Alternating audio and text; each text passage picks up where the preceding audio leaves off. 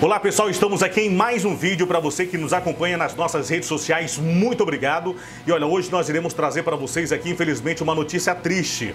Um jovem de apenas 18 anos é, estava desaparecido desde uma hora da tarde no povoado, ele é morador do povoado Cachimbos e estava desaparecido lá do balneário na Cachoeira em Jatobá, cerca aí de 18 quilômetros da sede Jatobá.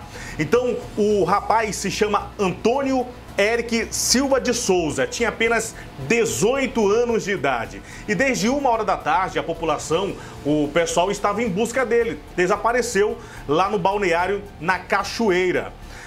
Assim que teve o desaparecimento dele, inclusive tem até a, o printzinho que eu vou colocar aí do Twitter do prefeito lá da cidade de Jatobá, o Robertinho, ele é, já tinha convocado até o pessoal do Corpo de Bombeiros.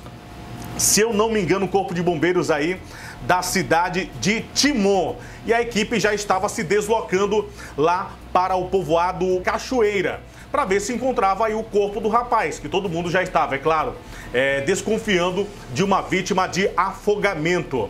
Antes que o corpo de bombeiro pudesse chegar até o local, as próprias pessoas começaram a procurar aí lá pelo local, pelo rio, e infelizmente encontraram o corpo aí já sem vida do jovem Antônio Eric Silva de Souza, de apenas 18 anos, ele que era morador do povoado Cachimbos, né? Um rapaz novo, como você pode observar aí na tela, tá? Rapaz bem novo e acabou sendo vítima de afogamento lá no povoado é, Cachoeira, a 18 quilômetros da sede de Jatobá. Ainda segundo informações, o momento que encontraram o corpo desse jovem, o corpo dele estava tava preso, tá?